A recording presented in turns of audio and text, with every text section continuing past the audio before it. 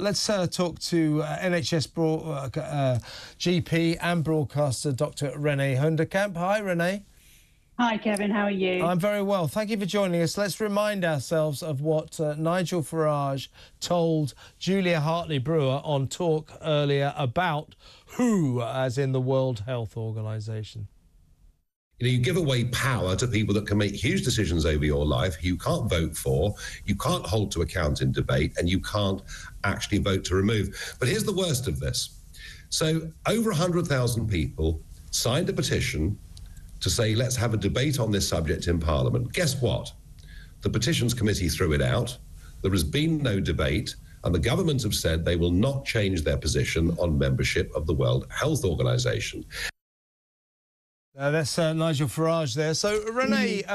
uh, only a week ago, it emerged that actually Britain was uh, resisting this agreement. They call it the Lockdown Treaty, uh, the World Health Organization's uh, pandemic agreement, but it's nicknamed the Lockdown Treaty, and you can see why. Mm. Because, of course, the World Health Organization loves lockdowns. It wants to take that decision away from the sovereign British government, whether or not we ever lock down again. I hope we don't, because everybody knows lockdowns don't work.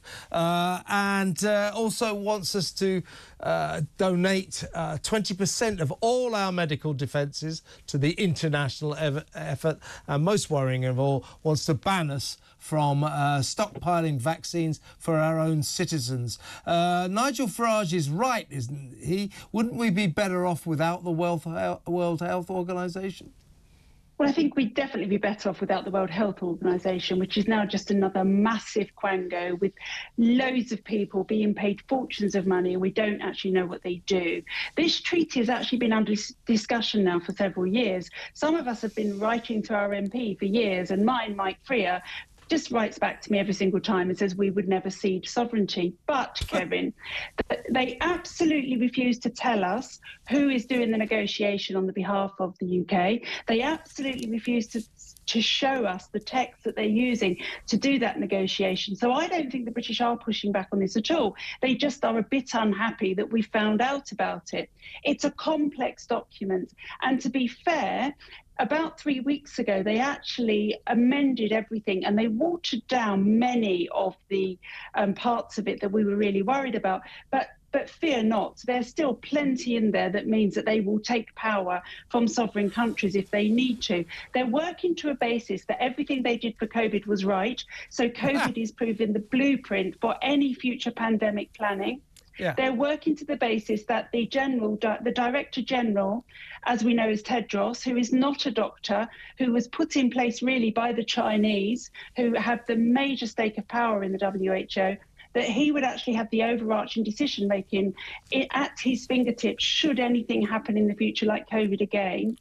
Yeah, it, There's plenty Indeed. I mean, didn't the uh, last pandemic, the COVID crisis, Renee, uh, prove that sovereign nations are better at handling their own situation than some kind of united effort? uh, our uh, uh, battle to beat the virus was far more successful than the EU's because we made our own decisions. I mean, uh, internationalising what surely should be local decisions is just a mistake. It's absolutely a mistake. And you just need to look around the world at the different countries that do different things and have different outcomes.